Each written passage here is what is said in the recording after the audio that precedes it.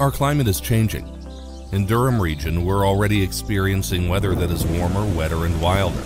Preparing our community to deal with this changing climate is becoming more important. That's why we have the Durham Community Climate Adaptation Plan.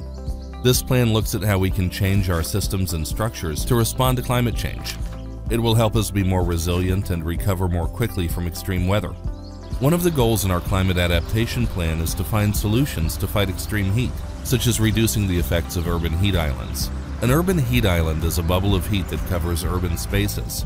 Urban heat islands have more paved surfaces, which absorb heat from the sun, have fewer trees and less green spaces that could provide shade, and have waste heat generated from industry, vehicles, and machines. Because of urban heat islands, Durham's urban spaces can be up to 12 degrees Celsius hotter than the surrounding farmland. Hotter temperatures can affect our health by worsening the effects of allergies and asthma, causing heat rashes and discomfort, and can sometimes result in heat stroke and even death. Higher temperatures also mean increased costs for cooling through air conditioners and refrigeration. The increased energy used for cooling buildings produces more greenhouse gas emissions and air pollutants. These further contribute to global warming and climate change. You can help to reduce urban heat islands. Planting trees and other vegetation lowers surface and air temperatures by providing shade and cooling. Trees and vegetation that directly shade your home can decrease the need for air conditioning, making your home more comfortable and reducing your energy bill. Trees also protect your family's health by improving air quality, provide cooling shade for outdoor activities, and reduce exposure to harmful UV rays.